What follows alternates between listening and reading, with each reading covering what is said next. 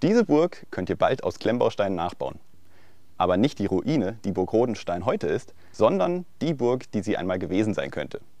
Alles, was ihr dafür braucht, ist die Burg der Löwenritter von Lego. Okay, ihr braucht das jetzt zweimal.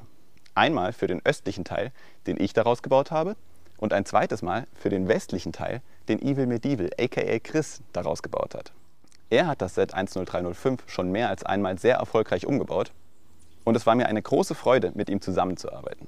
Warum Burg Rodenstein? Ich habe diesen Ort schon oft besucht und daher eine besondere Verbindung zu dieser Ruine.